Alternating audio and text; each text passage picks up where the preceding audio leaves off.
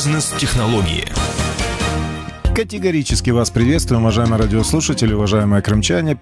Э, ну, как бы поздравляем с наступающим. Это еще не, про, не полное поздравление, так прелюдия э, с наступающим Новым годом. Сегодня у нас понедельник. У нас в эфире «Бизнес-технологии», наша традиционная программа, куда мы все время приглашаем, или стараемся, во всяком случае, приглашать предпринимателей, руководителей бизнес-сообществ, людей, которые а, представляют какие-то технологии, маркетинговые, производственные и другие, социальные в том числе. Вот несколько эфиров у нас было посвящено местному самоуправлению. Но, во всяком случае, все гости у нас были всегда старше 20 лет. У нас был пресс-секретарь, им было 21 год. Никогда у нас не было было людей моложе, и сегодня я хочу представить достаточно важного гостя, президента э, школьного самоуправления первой гимназии, а, ну, такого видного мужчину средних лет Дмитрия Крота. Здравствуйте, Дмитрий. Здравствуйте. А, мы на самом деле задумали сегодняшний эфир поговорить о том, как живут школьники. Диме, конечно, еще не 20, ему всего 15 в этом году исполнилось, да? Я правильно говорю? Да, да. Да. Но при этом он является президентом, он, мы с ним уже давно знакомы, он является и киношником, и актером, и, в общем-то, таким достаточно активным человеком по жизни. И вот сегодня мы столкнулись с тем, что, собственно, мы с ним столкнулись на площадке, мы снимали фильм, посвященный истории, 200-летней истории, внимание, первой гимназии города Симферополя. И я там на съемке узнал столько интересного и нового, что я вот подумал, что обязательно надо затащить президента в эфир, чтобы он поделился тем, а, вокруг чего мы ходим каждый день и не знаем, какая богатейшая история у нашего города. А, Дмитрий, расскажите об этом фильме, с которого все началось, а потом мы плавно перейдем к школьному самоуправлению. У нас появилась идея снять э, фильм по истории нашей гимназии. Э, наша гимназия была создана в 1812 году. Фильм посвящен э, великим людям, э, окончивших нашу гимназию. Великие люди не только учились в нашей гимназии, но и преподавали. Допустим, Менделеев, известный химик, был учителем химии в нашей гимназии. Ого. Этот фильм мы повезем в Москву на э, конференцию научную, где все будут защищать э, свои проекты по физике, по химии, по математике и так далее. А у нас э, вместо проекта, ну как, это и есть проект, это фильм, посвященный истории гимназии, то есть он исторический. А правда ли, что вы одна из старейших гимназий не только Крыма, но и всей Российской Федерации? А, ну, насчет Российской Федерации я не уверен, но а, насчет юга России это точно. Угу. А какие вот э, знаменитые, известные персоны э, закончили первую гимназию? А, закончили первую гимназию такие великие люди, как э, художник-маринист Айвазовский, много ученых, например, Курчатов, физик, который был одним из создателей бомбы, Э, ядерной, по-моему. Или ну, атом... да, да, атомной бомбы. Атомной да. бомбы. Ну и атомной энергетики, да. Э, в общем, в России это, то есть он закончил нашу гимназию, учился там на протяжении, э, по-моему, 10 лет на тот момент люди учились.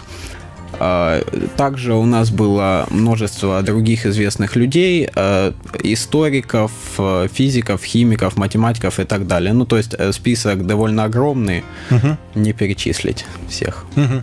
А, ну, на самом деле атмосфера вот в старом корпусе, мы сегодня походили, она действительно вот навевает что-то. Тут там действительно 200 лет, как с добрым утром в молодом корпусе, в новом оно как-то по-другому, но вот старый корпус, да, такое чувство, что там чуть ли не Эрмитаж какой-то. Ну да. Хорошо. А, движемся дальше. Вот школьное самоуправление. Мы на самом деле в наших программах занимаемся не только бизнес-технологиями, как зарабатывать деньги, как там кормить семьи и детей, которым до 15 лет. А, ну, прости, я так уж. Да, а мы занимаемся вопросами социальных технологий, и вот все, что связано с самоуправлением, в нашей программе одна из ключевых тем. Вот расскажи о школьном самоуправлении, как ты стал президентом, и, собственно говоря, что тебя туда потянуло. А, школьное самоуправление занимается а, благоустройством школы за счет а, сил учеников, угу. за счет привлечения учителей к разным проектам и так далее. Еще мы занимаемся различными мероприятиями, как увеселительными, так и настроенными на обучение, обучение и как-то сказать, на э, облагораживание э, умов наших учеников. То есть э, в прошлом году э, я еще не был президентом, но я был министром патриотического духа и милосердия своей школы. И, то есть э, на 9 мая, э, то есть мы шефствовали ветеранов, то есть ходили по домам угу. от нашей школы, поздравляли их с, с Днем Победы, помогали им всячески, там приносили разные там еду, провизию, можно так сказать, и так далее. Не, еда тоже нормально. Угу. А, так также самоуправление э, занимается э, различным э, благоустройством города, то есть устрои, мы устраиваем субботники, флешмобы различные и так далее. Существует также над школьным самоуправлением есть Верховный Президиум, где, получается, есть самые активные президенты, участвуют в нем. Угу. А, и мы уже занимаемся на городском уровне уже более масштабно различными проектами. А, наша э, организация называется Симфа, то есть и мы занимаемся а, ну вот также занимаемся шефством э, над ветеранами. Планируем после Нового года организовать субботник на набережной реки Салгир, если, конечно, погода позволит. Мы общались с депутатами э, крымскими, с мэром mm-hmm. нашего города Агеевым. Они согласились на помощь, то есть финансовую, э, помогать нам, э, э, получается, кадрами, то есть людьми и так далее.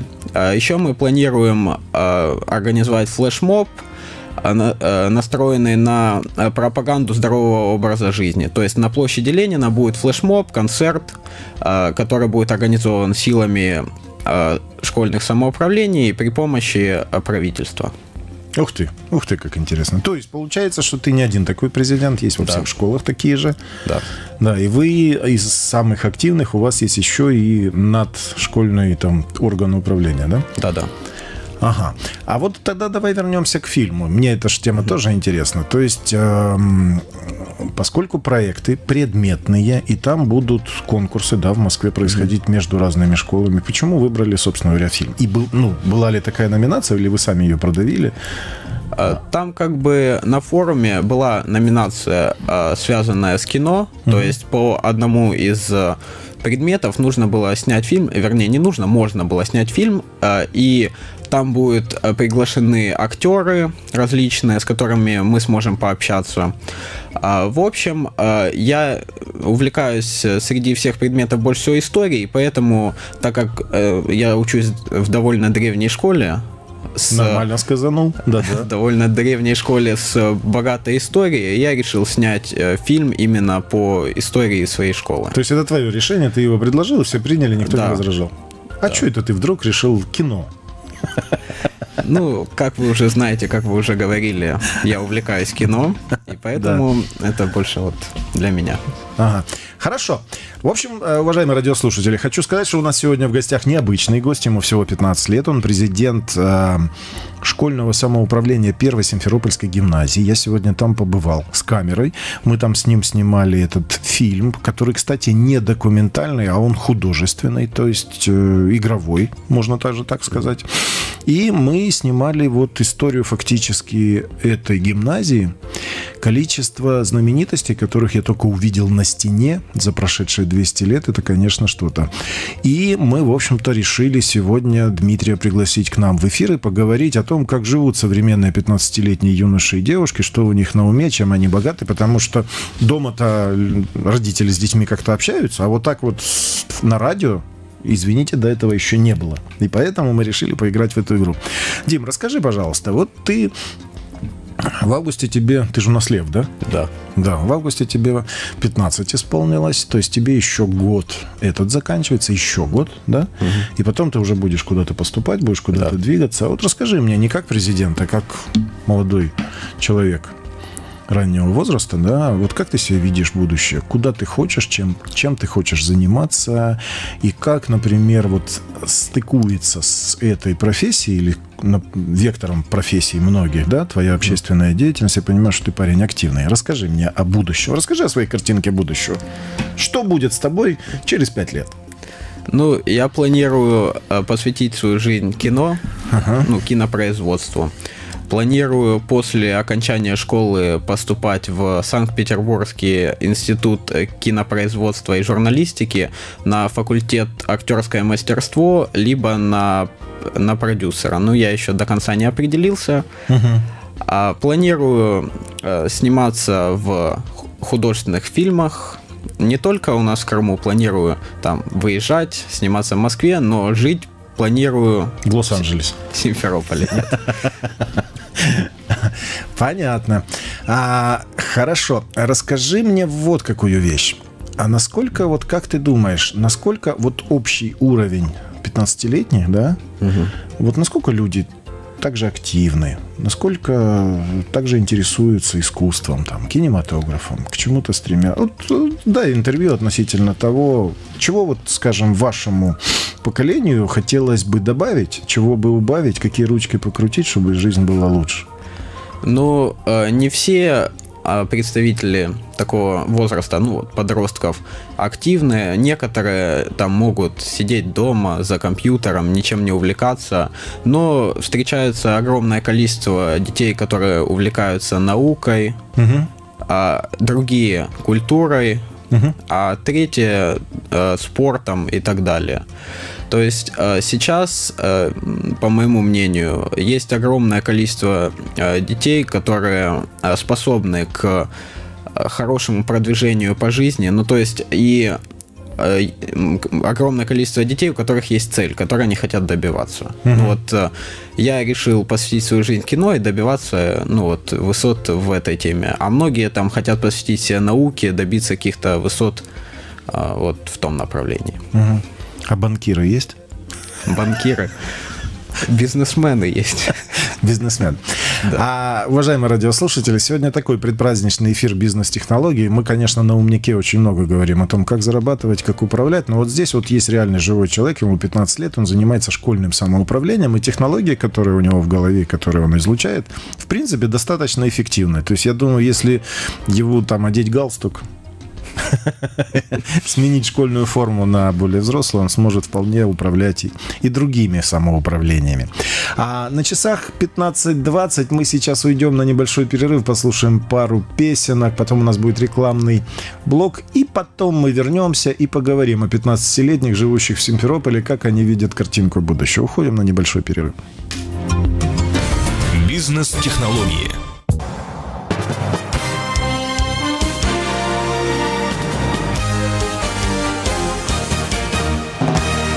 Бизнес-технологии. Возвращаемся в студию бизнес-технологий. Мы а, сегодня обсуждаем с нашим гостем Дмитрием Кротом. А он, на секундочку, президент школьного самоуправления первой гимназии города Симферополя. Мы обсуждаем, что было, что будет, чем сердце успокоится. В частности, мы обсуждаем фильм, который снимает под его продюсированием, как я понимаю. Да, да. Этот фильм, э, он даже не документальный, посвященный 200-летней истории, даже, получается, 200 203 года. Да, 200, да. 203 года первой гимназии. Это на самом деле срок не маленький для любого учреждения, а тем более такого. Я побывал сегодня в музее, поговорил с учителями. У меня, честно говоря, ой, какой интерес проснулся к этому делу. Вся история России реально заложена в истории первой гимназии. Там а, такие люди и врач, который, э, у которого ну, родственник этого врача, на руках которого умер Пушкин, тот же Дмитрий Менделеев, тот же Игорь Васильевич Курчатов, Спендиаров, да, Айвазовский. То есть там такая плеяда знаменитейших титульных лиц Российской империи и российского государства, что а, я даже просто рекомендую сделать экскурсию всем, кто не был в первой крымской гимназии, договориться с президентом. Вот он рядом сидит. Расскажи, пожалуйста, об этом фильме. А, когда, какие сроки, когда, как это будет выглядеть? Ты поедешь в Москву его представлять, защищать? Когда это будет? Что это будет вообще в рамках какого это процесса? А, Вообще э, в Москве будет э, проходить что-то типа форума э, научного, на котором школьники со всей России будут защищать свои проекты по физике, химии, математике, истории и так далее. Э, Как я уже говорил, мы решили снять именно фильм исторический по истории гимназии, так как она довольно богата. Но решили снимать не в виде документального фильма, потому что документальный фильм обычно концу уже успевает надоесть. И Ну да, многие засыпают, да. Засыпают, и неприятно смотреть, как бы даже. А тут мы решили снять это в виде э, художественного фильма, э, добавили небольшой элемент фантастики. Ну, то есть, как дети прибыли из будущего и начали все разузнавать. Не хочешь ли ты сказать, что в будущем дети вообще истории знать не будут, ни в зуб ногой, их надо будет перемещать назад? Нет, ну они же попали не из нашей школы, А, ну да, да. так да. как через там 100 или 150 лет еще более велики, больше великих людей будет учиться в нашей школе. Да, да, это я это сто Это процентов. сто процентов, да. А, и с этим проектом а, мы поедем в Москву и там его будем защищать. Когда это будет? Это будет происходить в 20-х числах а, января. В То конце есть точно января. дат- даты еще нету? А, вообще этот форум будет проходить э, с 25 по 30 число. Но нас приглашают на три дня, когда именно э, наш, ваша тема будет. наша тема будет да, э, раскрываться там. И там мы будем находиться три дня. То есть э, нас туда приглашают, а жить мы будем, получается, не в гостинице, а в семьях, то есть и будет общение между школьниками, допустим, уже не только на уровне вот этого форума, а еще и там после этого, то есть мы будем жить в семье, которая будет жить школьник, его семья, и которая будет рассказывать о жизни там Ой, как прикольно. Мы на самом деле, я тебе скажу по секрету, с руководством телерадиокомпании «Крым» обсуждаем сейчас проект, связанный именно с обменом детьми, когда э, дети из одного региона будут жить в семьях другого региона, и на самом деле сделать из этого большое шоу, ну, кое-что снимать, разговоры, обмен опытом, особенно если еще делать межродовые и межнациональные такие обмены. То есть, например, а, из Башкортостана к нам в Крым приедут дети и поживут в наших семьях и наоборот. И вот этот проект, он на самом деле, ну, такой достаточно объемный, серьезный, и мы тоже вот думаем над этим. А тут еще, оказывается, вы в Москву решили съездить. Нет-нет, да и да. Вы там хоть с камерами поедете, да поснимайте что-нибудь. Интервью, да. разговоры, чего-нибудь. Я тоже планирую поснимать определенные ситуации. Ну, то есть в- взять интервью у тех же э, каких-то научных умов, Ну которые да, туда понятно. поедут. Не, ну, не только у детей, школьников, которые приедут из других регионов, но и у ученых, которые там будут присутствовать. Также э, там будут э, присутствовать некоторые известные российские актеры, в том числе и подростки, у которых тоже у меня есть в планах взять интервью. И после этого сделать из этого кратенький фильм, ну там, Видеоотчет. видеоотчет, да. Скажи мне такую вещь. Вот как ты думаешь?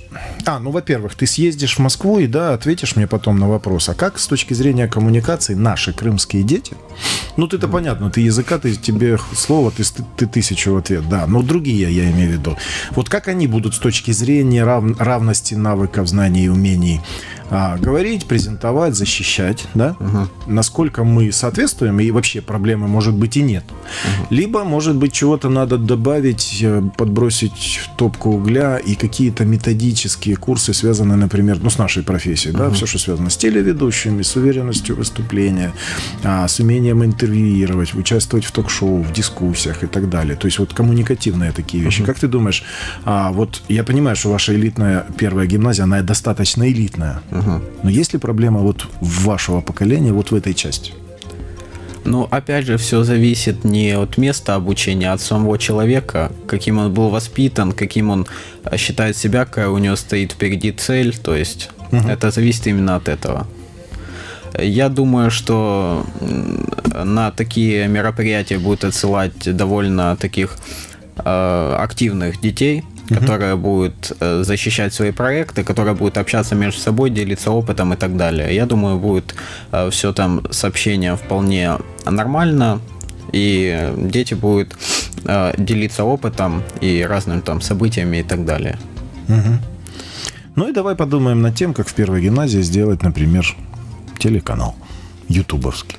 чтобы вы делали новости, а мы вам поможем.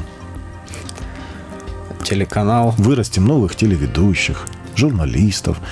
Снимать можно пока на мобильной, там же есть камеры. Ну да.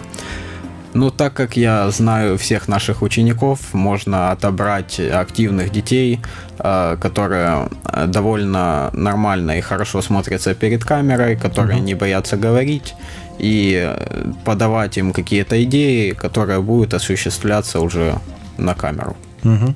Давай этим займемся. Ты съездишь в Москву, мы закончим. Я помогу с этим фильмом немножко, да? Угу и к этому вопросу приступим. Ну что, уважаемые радиослушатели, сегодня такой предпраздничный эфир. Мы решили немножко, ну, не то чтобы дурака повалять, но пообщаться с человеком, который бы вот на радио бы не зашел бы без повода. А поскольку он президент школьного самоуправления и на самом деле действительно активный человек, человек, который занимается управлением э, не по книжкам, не по науке, у него нет каких-то обязательств перед вышестоящими там этажами управления, но тем не менее он на практике управляет, он на практике общается с учителями, с детьми, старшими, младшими, равными. И при этом приходит к каким-то для себя выводам, пусть даже и подсознательным, что на самом деле достаточно интересно. Бизнес-технологии – это же прежде всего технологии управления. И у нас в гостях Дмитрий Крот, президент школьного самоуправления Первой Симферопольской гимназии, который выступил у нас продюсером художественного фильма, который он хочет повести 25 января в Москву, об истории Симферопольской гимназии номер один, которая в 2012 году исполнилась 200 лет. Это, между прочим, достаточно большой срок. А, Дмитрий, а, ну, у нас сегодня такой коротенький предпраздничный выпуск. Давай ты обратишься к жителям города Симферополя, крымчанам с новогодними поздравлениями, к сверстникам, к школьникам, к студентам. Пожелаем, а, чего бы ты им там пожелал в новом году. А, ну и поздравь с наступающим Новым годом. Хорошо. А, я поздравляю а, всех крымчан с Новым годом. Желаю, ну, как в первую очередь все желают здоровья, удачи во всех начинаниях, а, в первую очередь для подростков активности. И желаю того, чтобы если человек поставил для себя цель, он ее добивался. Вот. Угу. Ну, да, и обязательно сняться в фильме, который будет продюсировать Дмитрий Крот, потому что он после окончания школы собирается идти на продюсерский факультет. А тут, а люди, которые прожили всю жизнь и ни разу не снимались в кино, это как-то неправильно. Они должны это все-таки когда-то сделать. Это да. Уважаемые радиослушатели, сегодня бизнес-технологии посвящены школьному самоуправлению. Мы решили поговорить об этом непосредственно с президентом школьного самоуправления Симферопольской гимназии номер один, которая недавно исполнилась 203 года. Ну да, это же было 200, да, да. Да, 203 года. Ого-го, скажу я вам. Это примерно получается абсолютный сверстник Никитского ботанического сада. То есть Стивен, когда приехал из Дании, да, и по царскому поручению начал закладывать Никитский ботанический сад, а он же входил в управление самой школы, гимназии. Угу. То есть получается, что гимназия была образована как раз в тот же самый год, когда Наполеон вторгся на территорию Российской империи угу. и был заложен Никитский ботанический сад. Да. Все ой, верно. Как, ой, как прикольно. Надо снимать фильмы по истории Крыма, которые на самом деле как в зеркале отражают историю России. В эфире были бизнес-технологии. Сегодня у нас предпраздничный короткий выпуск. У нас в гостях был а, Дмитрий Крот, президент школьного самоуправления первой гимназии города Симферополя, у которого есть свое представление о том, как будет выглядеть жизнь через пять лет. Он только что нарисовал у нас картинку будущего. И который поздравил всех крымчан и своих сверстников с наступающим 2016 годом. Дмитрий, спасибо за участие в нашей программе программе. Спасибо вам. Да. Э, уважаемые радиослушатели, встретимся с вами в предпраздничный выпуск в среду с 15 до 16.00. У нас будет бизнес-технологии, у нас будет новый гость. Поговорим о том, как мы будем развивать предпринимательство в 2016 году. Спасибо за внимание. До свидания.